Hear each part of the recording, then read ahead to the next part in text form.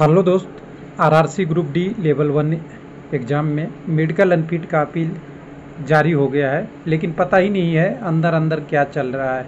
विद्यार्थी परेशान है क्योंकि कोई लिस्ट नहीं, केवल अपील करने की बात की गई है। तो देखिए, पारदर्शिता तो ऐसी होती है जिसमें सब कुछ सामने रखा जाता है वेबसाइट पे। फिर कहा जाता है कि आप ये कीजिए। तो यहाँ पे कुछ आरआरसी है डब्ल्यूआर जिसमें आपको रिज़ल्ट नहीं मिला था। डीबी के वाले पूरी तरह से। उसके बाद नॉर्दर्न रेलवे में आपकी रिज़ल्ट बाद में आई थी, लेकिन अभी भी कैंडिडेट का पैनल में शामिल कितने किस कम्युनिटी के आए हैं, कुछ डिटेल नहीं आया है। केवल लॉगिन करके कैंडिडेट देख सकता है। तो ये कौन सी पारदर्शिता है, ये सही नहीं है, जिसके कारण से विद्यार्थी परेशान हो रहे हैं। तो वैसे ही एक डब्ल्यूआर का भी आया है, और डब्ल्यू की बात करने से पहले बता दूँ कि डब्ल्यू का ही एक पहला डिटेल आया था, जो शुरुआत हो गई है कैंडिडेट ज्वाइनिंग इसी बार की है ग्रुप डी में। और सिग्नल डिपार्टमेंट से और रिजाइन भी इसी साल कर दिए, यानी सत्रह चार तेईस को। तो आप समझ सकते हैं कि क्या इशू है लेवल वन में। एक तो इतने दिन बाद ज्वाइनिंग हो रहा है और उसके बाद पंद्रह पाँच को रिलीविंग भी हो गया, यानी बहुत सारी चीज़ें आपको समझ में आएगी। तो चलिए, कोई बात नहीं है। कैंडिडेट का जिसका जो ज़रूरत रहती है, उनके पूरा होना चाहिए। लेकिन अभी जो आई है डब्ल्यूआर में तो डब्ल्यू आर के वेबसाइट पे आएँगे। यहाँ पे हमें नोटिस नंबर दिख जाएगी, जिसको नोटिस नंबर 12 दिया है। नाम और साथ में लिखा है unfit candidate for instruction for the medical appeal unfit कौन है, किसी को नहीं पता।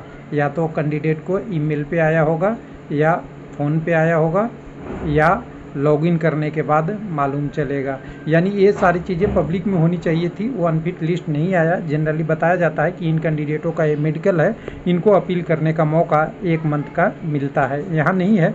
फिर भी कैंडिडेट अपना अपना ईमेल अपनी फ़ोन और लॉगिन करके चेक कर ले। कहीं स्टेटस तो नहीं आपका आ गया है। जिसमें लिखा हुआ है कि कैंडिडेट को अनफिट घोषित किया गया है। उनको अपील सबमिट करने के लिए सात सात दो हज़ार सत्रह तक का टाइम दिया जाता है। यानी जो अब सत्रह वाले की जो रूल है, सॉरी, उसके हिसाब से आगे की प्रोसेस के लिए अपील करने के लिए दिया जाता है। जनरली अपील करने के लिए वन मंथ होता है। वन मंथ का टाइम दिया जाता है, जिसमें आपको डॉक्टर के सर्टिफिकेट वगैरह, ये सारा चीज़ें प्रोसेस लिखा हुआ है। इनक्लोजर में लेके स्टेशन में एस आई का सारा इंस्ट्रक्शन आप पढ़ लीजिएगा।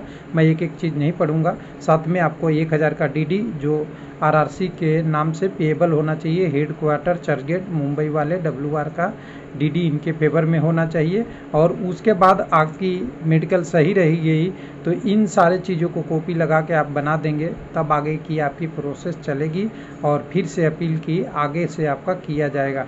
लेकिन इसमें ये सारा चीज़ें दिया हुआ है। ये किसके लिए है, पता ही नहीं है। कौन से कैंडिडेट इसमें भाग लेंगे? एन एक्स ए तो परफॉर्मा है एन एक्स बी डॉक्टर लिख के देंगे मेडिकल सर्टिफिकेट वो हैं। दोनों को आपको बना के ले जाना है और आगे फिर इसके साथ डीडी बनानी है और आपको ये भर के xerox copy of E call letter जो पहले वाले था, उसके साथ आप आरआरसी के फॉलो ई से एड्रेस पे आप भेज सकते हैं, जो आपको दिया हुआ है यहाँ से। यानी A P O R R C railway recruitment cell, parcel depot Ali भाई प्रेम जी मार्ग ग्रांट रोड ईस्ट, मुंबई भेजना है। तो ये ध्यान दीजिएगा, ये अपील के लिए है, लेकिन कौन सा कैंडिडेट अपील करे, उन्हें खुद नहीं पता है। तो इसके लिए हो सकता है, अभी बाद में डिटेल आए, या आपको जो मैंने बोला, ईमेल पे आ गया होगा, या आपके बाई फ़ोन के एसएमएस में आ गया होगा, या आपको ये लॉगिन करने के बाद दिखता हो। यानी ये चारों पोजीशन में से कोई एक हो सकती है, लेकिन सही नहीं है। वेबसाइट पे रहता तो साथ के साथ सभी रहता और सब लोग देखते। थैंक यू, धन्यवाद।